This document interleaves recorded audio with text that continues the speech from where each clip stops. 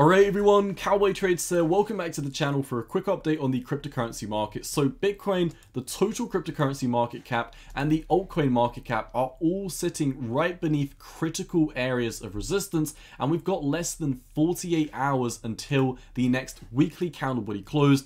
Are we going to close beneath these resistances? If we do, what are going to be my price targets? what's happening in the lower time frames. Let's discuss all of this and more. So first of all, I want to discuss what's happened in the past few days with this bounce that we've seen and has this changed anything? Well, first of all, let's come over to one of the macro charts which we have been keeping you up to date on on the channel. This is actually a chart that we drew well over a year ago and we just brought it back on the channel about a month ago. And as you can see, where have we bounced from? We've bounced from this critical trend line right down here at 25,000. Now, this is one reason why we've seen a bounce in the past few days. First of all, the bounce doesn't change anything in the macro time frame. As you can clearly see, since we topped out in early April at 31,000, we've been having red candles, green candles buying back into lower highs, red, red, red, slight green candle making lower highs, red, red, slight green candle making lower highs. It's not only on the weekly that we're making lower highs, if we come over to the daily time frame,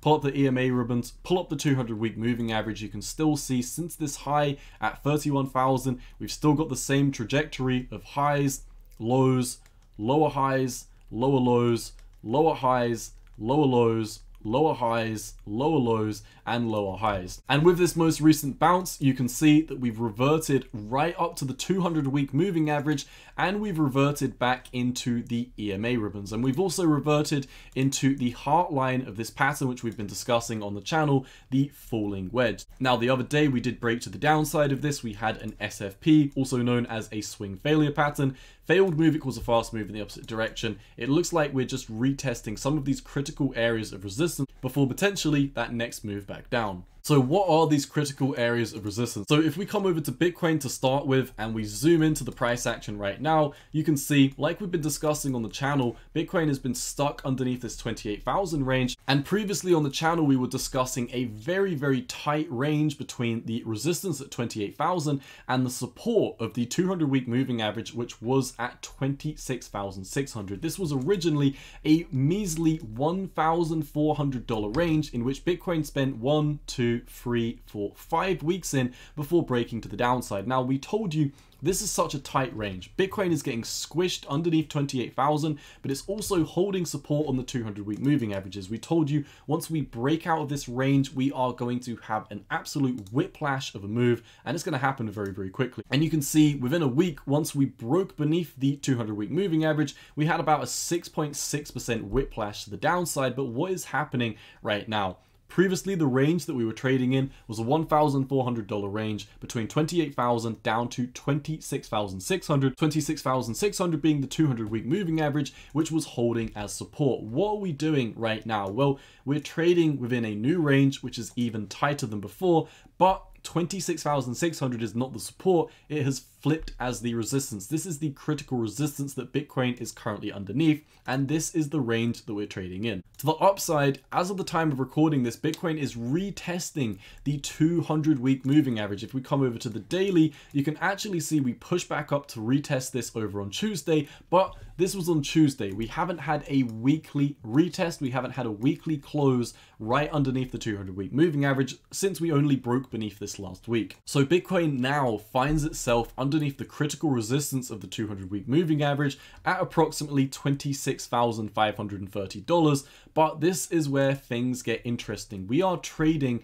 within an absolutely tiny range right now, 26,600 down to the support where the EMA ribbons are and the bull market support bands are. If I clear up the weekly EMA ribbons and clear up everything on the chart, you can see this is the support that we've got right now, 25,900 and to the upside, the resistance is 26,600. So what does this mean? Right now, Bitcoin is trading within a $700 range and the previous range that we told you when we break we're going to have a whiplash of a move was a $1,400 range, extremely tight, but right now we're in an even tighter range. Just look at this. We are absolutely sandwiched between the resistance of the 200 week moving average and the support on the bull market support bands and the weekly EMA ribbon. So when we do finally have that weekly candle body close, if we do have it beneath 26,530, I am expecting an absolutely monumental move to come to the downside.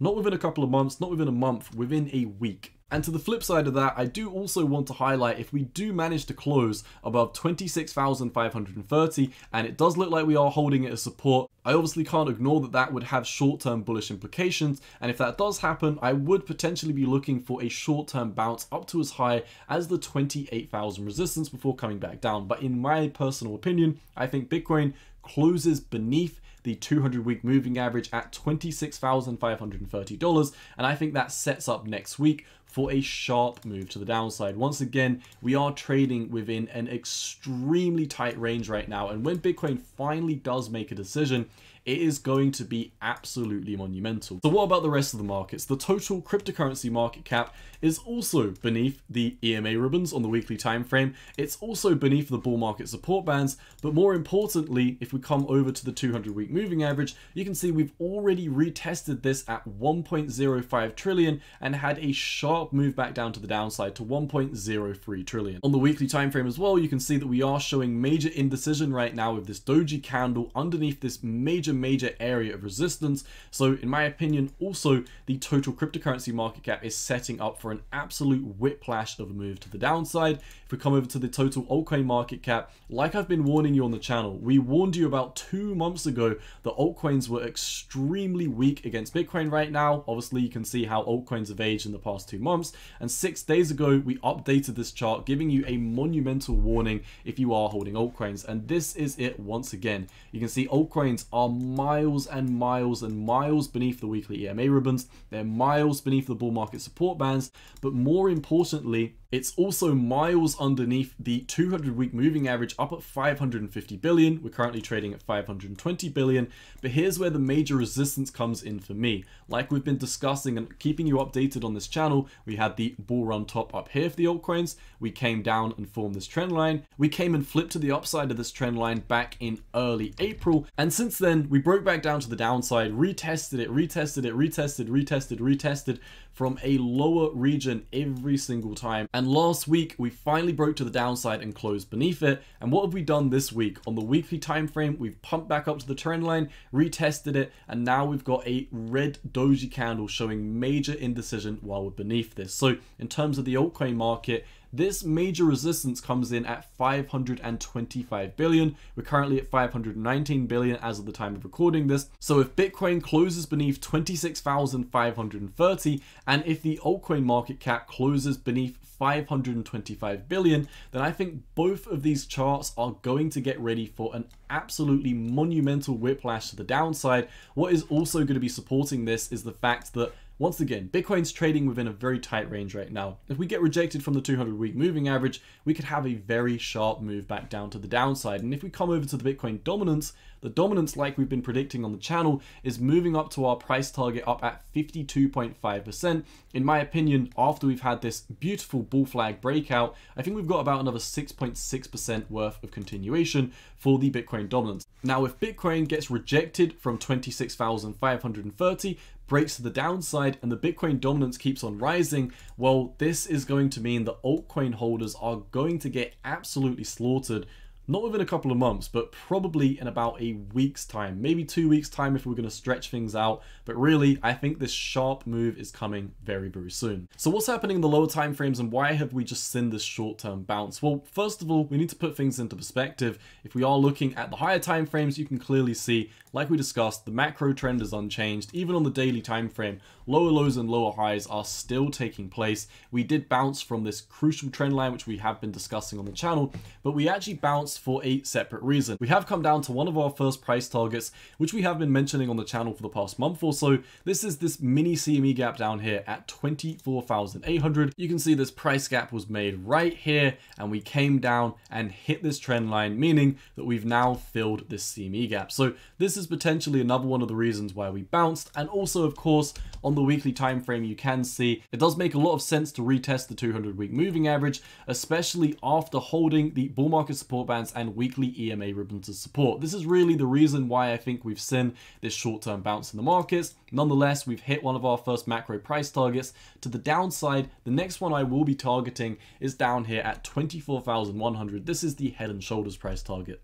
In terms of the falling wedge, which we discussed on the channel the other day, you can see we tried to break to the downside of this, had a SFP swing failure pattern, and currently we are just retesting the heartline of this pattern, and we're also retesting the 200 week moving average and the weekly EMA ribbon. So in my opinion, as long as Bitcoin remains underneath the 200 week moving average, we are still setting up for that next major move to the downside. Now, I normally finish off the week by updating all the altcoins individually. We normally have an individual KDA update, Jasmy, Gala, Solana update, and then we come out with our Bitcoin update at the end of the week. Uh, what I'm going to be doing this weekend is I'm just going to be making this one video. I'm going to be waiting for the decision to happen over the weekend on where Bitcoin, the total cryptocurrency market cap, and the altcoin market cap is going to be closing. I'm personally predicting, of course, that the altcoin market cap is going to close beneath this resistance, and if that does happen, I think some big moves are going to happen very, very early into next week, which is why I want to wait for the close and then come back on potentially either Monday or Tuesday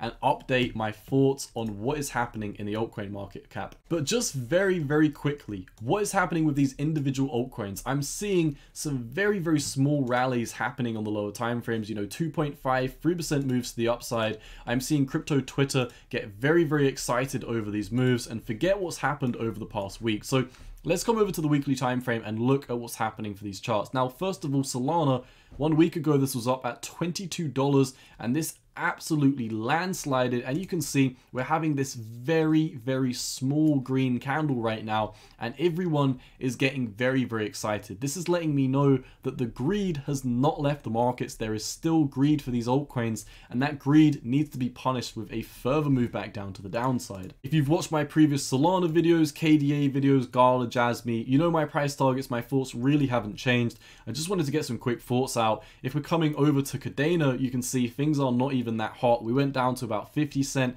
bounced back up to 54 cent. I haven't seen anyone really get too bullish on this one, uh, but in general, everything is still playing out for Kadena. You're still seeing this monumental bleed out to the downside.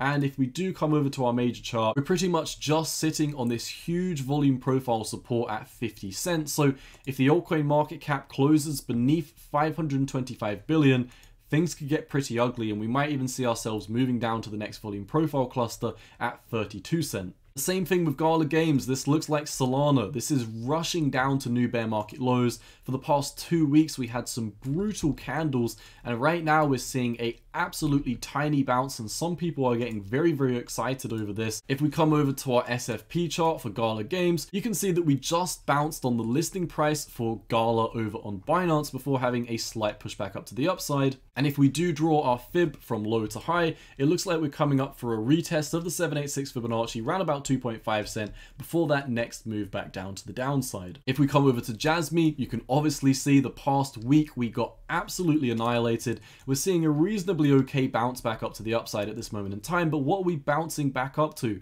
We're pouncing right back up to the neckline of this brutal M pattern. So this could be playing out a pretty much picture perfect retest of the M pattern neckline. You can already see we've had a sharp rejection on the daily EMA ribbons. Right now, Jasmy looks like it wants to go down to the price target, which we highlighted in our previous video, a 43 to 44% drop all the way down to 0.0021 cent. This is my price target in the immediate short term in the next couple of weeks or so. So yeah, like I said, I just wanted to put things into perspective. A lot of people get carried away by what happens day to day. If you zoom out and look at the weekly time frame, you can see that in the past week, we've been absolutely annihilated for these altcoins. These altcoins are getting absolutely decimated and we're just seeing a very, very small bounce right now. And I think it's going to be stopped out at just a very, very small bounce, especially if the total altcoin market cap closes beneath 525 billion. That is going to be the last nail in the coffin and probably stop out the short-term altcoin bounce